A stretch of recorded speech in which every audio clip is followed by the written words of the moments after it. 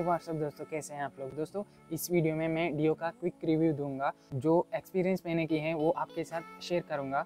आ, इसके अपग्रेड के बारे में आप तो जानते होंगे। इसके 12 inch wheels mileage indicator food test वैसे नए नए अपग्रेड पिछले मॉडल के कंपेरिजन में। बट इस वीडियो में जो कमी मैंने एक्सपीरियंस की है इस वाले मॉडल के साथ, इस टाइम में और इस प्राइस पॉइंट में, वो आपके साथ शेयर करूँगा। तो चैनल पे नए हो तो सब्सक्राइब कीजिए इस वाले चैनल को। So let's get into the video B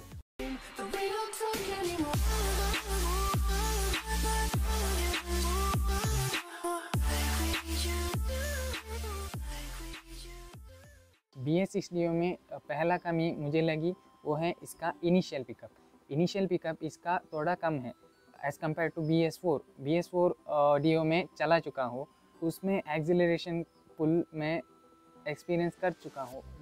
उसके कंपैरिजन में मुझे इस मॉडल में इनिशियल पिकअप कम लगा। सेकंड इसका बूट स्पेस बूट स्पेस में मीडियम साइज़ हेलमेट आराम से फिट होता है बट मोटोक्रॉस टाइप में हेलमेट इसमें फिट नहीं होता। जबकि होना चाहिए था, ये स्पोर्टी टाइप स्कूटर है अच्छा खासा स्पेस होता तो ऐसे हेलमेट रखने में मुश्किल नहीं होता।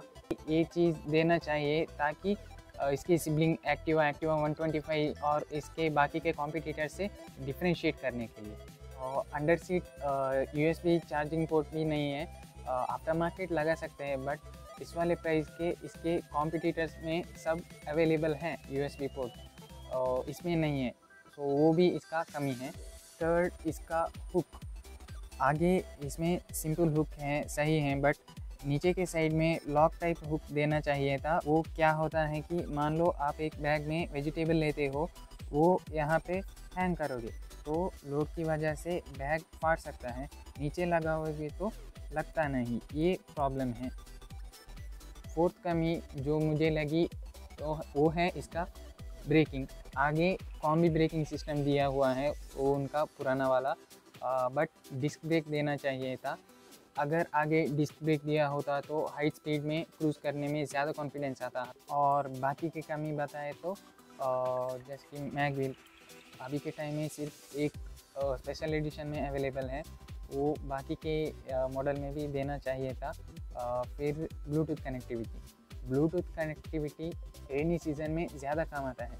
जैसे आप बार बार जैकेट उतार के मोबाइल नहीं देख सकते हो मैप के लिए या कॉल के लिए ब्लूटूथ होता तो कॉल नोटिफिकेशन के और मैप इंडिकेशन, डायरेक्शन इंडिकेशन के लिए काफ़ी यूज़फुल होता।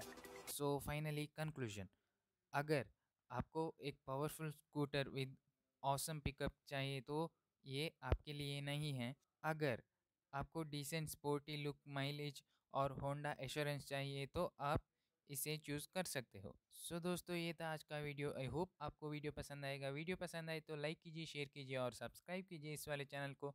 मैं ऐसे वीडियोस लाते रहता हूँ।